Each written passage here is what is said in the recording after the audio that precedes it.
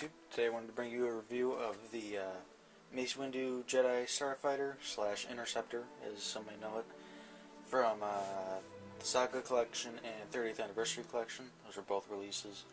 And uh, this is based on the Clone Wars micro series. But on the box it said Revenge of the Sith, but as we all know, it's never seen Revenge of the Sith, and was destroyed in the Clone Wars series. So, suck it, Hasbro. Uh, this one's really cool compared to the other ones that came out. This is using the original old sculpt rather than the new scaled down and more screen accurate versions.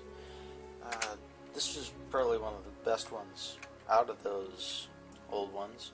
Uh, you can see it's got obviously the gray base and all the different sculpting work into the side panels and everything. And then uh, what makes it special, obviously, Mace Windu is the purple colors.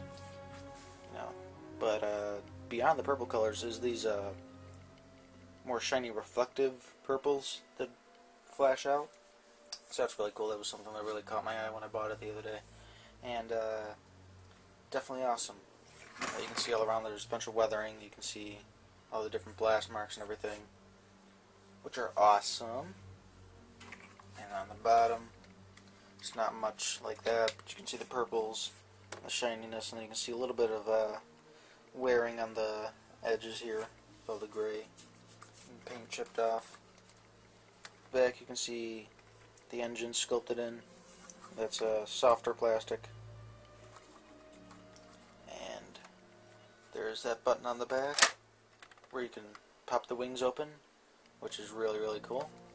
You can see it in its more open form.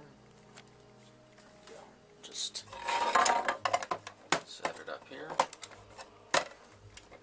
Come on. There we go. So if I can just... So that's really cool. Uh, another thing that it has is these uh, buttons in the back. Screw that. There's these buttons and you see here, press the button and the missile over here goes flying out. So that's pretty cool. Uh, it does feature little things here that are uh, peg holes and uh, the buzz droids from the what was it droid tri-fighter from Revenge of the Sith line.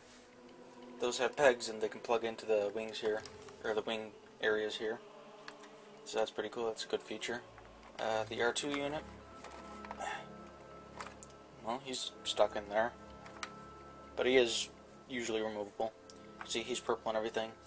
And then the cockpit can be opened up. And I suppose that's not supposed to happen. And you can see in there and you can see all the really nice sculpting work can you? yeah and you can see it's got the gold seat in there and you know what's not to love so this is a pretty cool starfighter if you army build for Jedi it'd definitely be cool to have and it's definitely a uh, cool ship, cool standalone ship. So until next time, hope you enjoyed the review. May the force be with you.